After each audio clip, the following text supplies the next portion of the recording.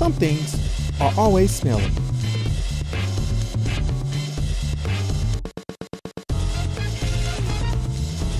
Even some of the friendliest creatures can be very smelly.